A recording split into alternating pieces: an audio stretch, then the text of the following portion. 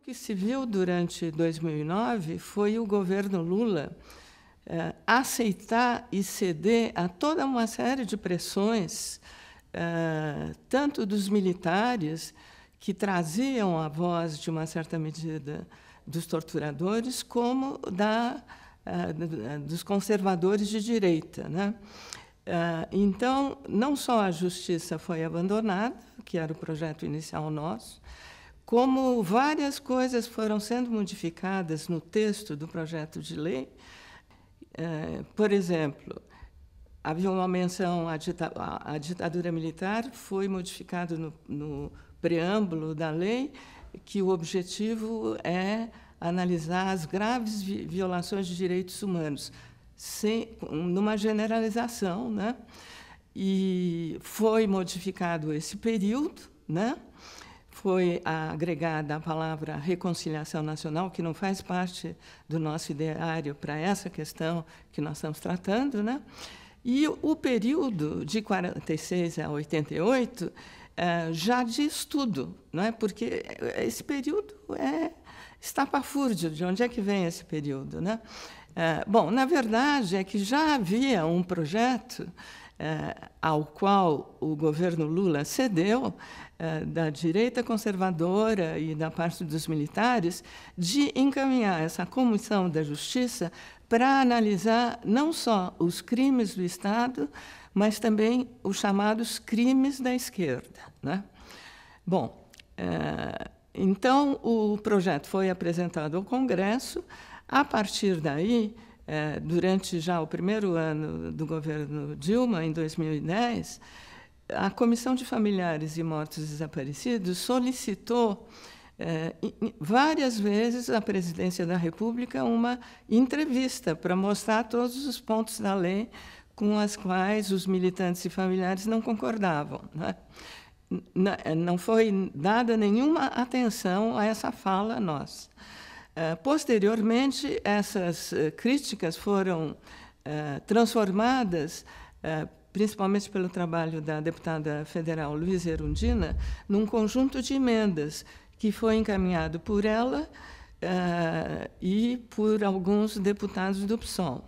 Bom, então, na fase de discussão, eh, na Câmara e no Senado, o que nós vimos foi, de uma maneira sistemática, a bancada do governo impedir que as nossas emendas fossem apresentadas e acatar generosamente as emendas do, PS, eh, do PSDB e do DEM. O Supremo não analisou a letra da lei, os ministros não analisaram o texto da lei, porque no texto da lei, eh, aprovada em 1979, o que está dito é que ficam anistiados os crimes eh, políticos e conexos. Durante muito tempo, sem o Supremo Tribunal Federal ter se pronunciado, o Poder Judiciário e essa direita conservadora e esses setores militares interpretava essa palavra conexos como querendo dizer torturadores. E isso é um, um absurdo do ponto de vista jurídico. E na letra da lei também está escrito que não são anistiados os crimes de sangue. Ora, não é possível torturar sem sangue, não é? Bom, mas a escolha do Superior eh, Tribunal eh, Federal foi analisar que houve, naquela época, um acordo nacional. E aí, do ponto de vista histórico, eles falharam também, porque não é possível chamar de acordo nacional a votação de uma lei que foi proposta pelo João Figueiredo, que era o último uh, ditador, num congresso cheio de parlamentares biônicos e, uh, ainda por cima, uh, a votação, a, a, diferença foi mínima, foi 206 a 201. Né? Então, contra os argumentos contra essa decisão do STF estão, em primeiro lugar, em primeiro lugar, na sentença uh, da, uh, da Corte Interamericana de Direitos Humanos, que foi expedida em, também em abril, uh, do, aliás, em dezembro do ano passado, 2000, aliás, do ano passado não, do ano retrasado, não é? sobre a questão da guerrilha do Araguaia, eh, na qual, além de todos os requisitos que eles exigem nessa condenação do Brasil, que são relativos aos desaparecidos do Araguaia, eles dizem claramente que a lei de anistia brasileira de 79 é uma autoanistia que não é considerada legal do ponto de vista jurídico internacional. Esse é o argumento mais importante. As autoanistias eh, não são validadas na jurisdição internacional.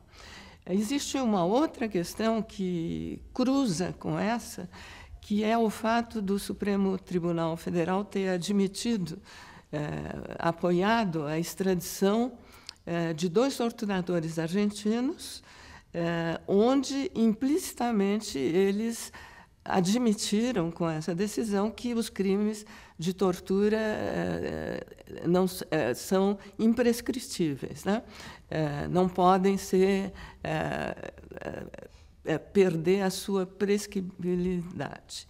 E, um, e além disso, eles têm que responder ao recurso da OAB, não é? Porque eles tomaram essa decisão e a OAB recorreu.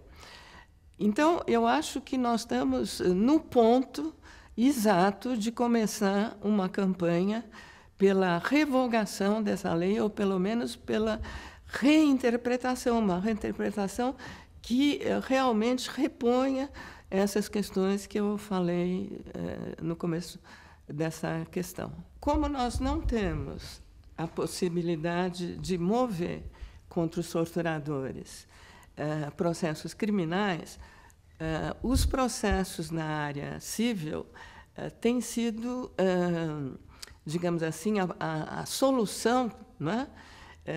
na medida em que, conhecendo o nome do torturador, nós podemos fazer esses processos, justamente porque o Supremo Tribunal Federal houve duas manifestações ultimamente nesse sentido da ministra Carmen Lúcia e do ministro Aires Brito, considera que a lei da anistia, a vigência dela é referente às ações criminais, ela não atinge a questão da responsabilidade civil sobre esses crimes.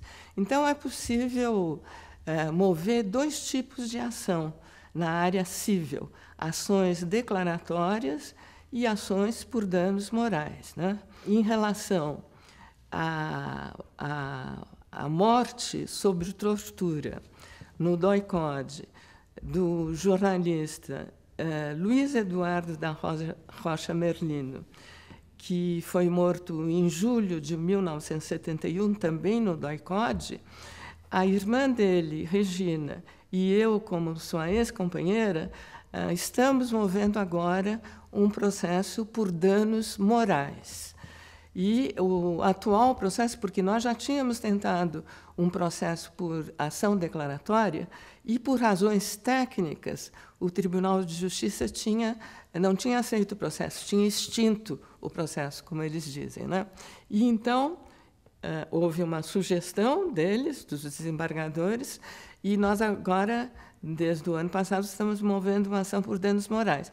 A ação já está praticamente a instrução concluída, já foram ouvidas todas as testemunhas de lado a lado e a sentença deve sair agora. Nós eh, fomos convocados, eh, nós, eu digo, familiares de mortos e desaparecidos, fomos convocados para uma reunião com a Comissão da Verdade, que aconteceu no dia 11 de junho, né? E nela estavam presentes cinco membros da comissão: a Maria Rita Kel, a doutora Rosa Maria Cardoso, eh, o José Carlos Dias, o Sérgio, eh, eh, Sérgio Paulo Pinheiro e o Gilson Dipp, né? a maioria da comissão.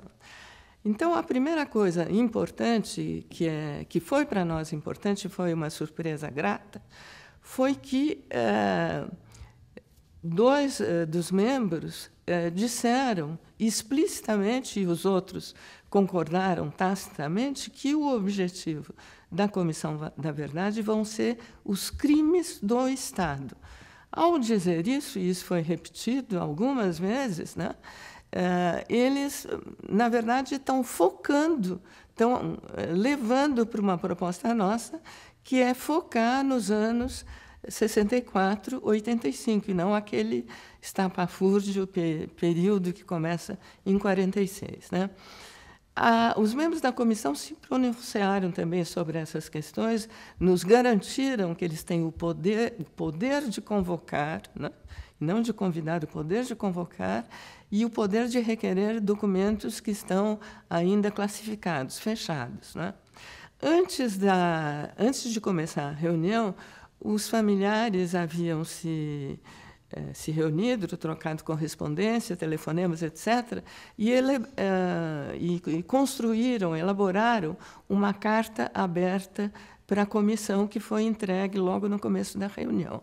E essa carta aberta é, alerta para uma série de coisas importantes. A necessidade de encontrar os, os, locais onde estão as ossadas dos desaparecidos, a necessidade da comissão é, nos trazer os nomes verdadeiros, não só dos torturadores, mas de todo o aparelho de cada centro de tortura, é, datilógrafos, fotógrafos.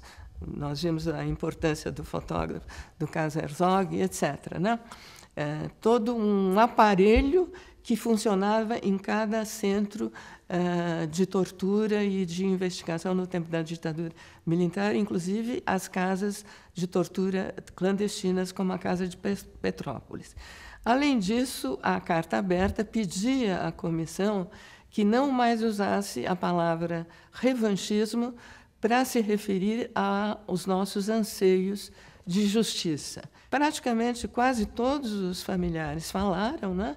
E o que se viu ali naquelas falas foi um desfiar de queixas e de críticas ao pouco caso com o qual o Estado brasileiro trata essas questões. Foi, foi falado, por exemplo, por familiares, a atitude arrogante do governo do Estado brasileiro no julgamento eh, da OEA, não é? Eh, o pouco caso nesses eh, GTAs que são um é o grupo de trabalho do Araguaia que tem ido na região do Araguaia para buscar ossadas, o pouco caso com delimitar, cercar e proteger esses cemitérios clandestinos, né? a comissão não tem a possibilidade de punição. O que ela pode é fornecer dados.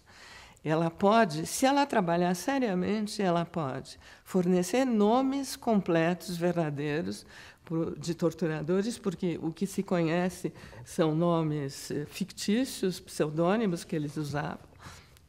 Eh, ela pode fornecer os lugares, eh, localizar os lugares onde as pessoas foram mortas e como foram mortas, não é? e também localizar as conivências desse aparato clandestino e que cometia, mesmo diante das leis da ditadura, atividades ilegais, como a tortura e o assassinato, que não estava na Constituição votada em 69, né?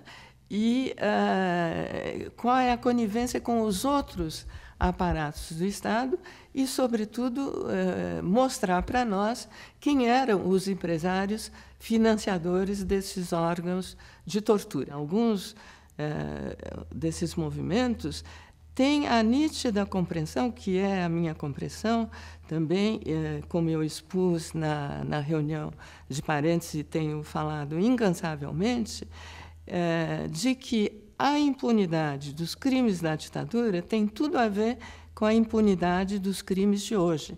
Nós sabemos que hoje é, as polícias em todos os estados brasileiros ela tortura, ela eh, comete execuções sumárias da mais absoluta legalidade e até desaparece com corpos, né? contra a, os, os, habitantes, os pobres, habitantes dos territórios da pobreza, agora também contra os movimentos sociais que lutam. Né? Ah, então, essa violência policial, que se faz de uma maneira também ilegal em relação às nossas leis atuais, na mais absoluta ilegalidade, e acobertadas em grande medida pelo Poder Judiciário, né, elas são exatamente a herança daquela impunidade de ontem. Eu acho que há muitos movimentos de esculacho que, não, que também estão tomando contato com movimentos de jovens das periferias para entender esse processo como um único processo é, do qual o Brasil tem que tomar consciência, porque a situação da violência policial hoje é inaceitável.